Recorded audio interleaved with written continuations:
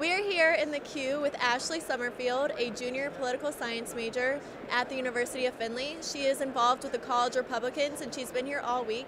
Ashley, tell them a little bit about um, what you've been doing and your involvement with uh, College Republicans.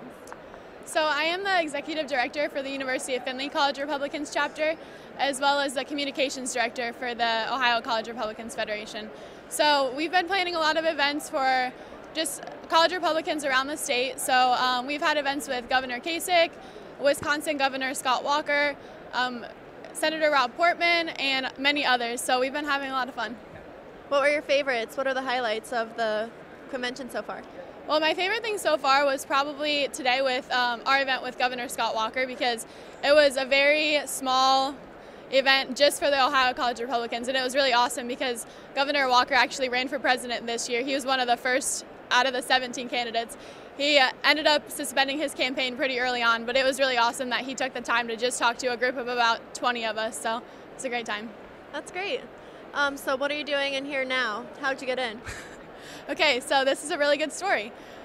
A lot of this convention is just being at the right place at the right time. So we actually ran into um, one of the college Republicans works for a state treasurer, and we ran into him the other day, and we told him that we hadn't had access to the Q yet. So he just handed us these passes, and now we're here. So we're super excited. This is our first day here, so we're excited to see the balloons drop tonight. So. Yeah, what an exciting experience for your future career. Yeah. So, what are your career goals post graduation, if you know? Well, after I graduate with my bachelor's, I'm going to apply to um, Navy officer training.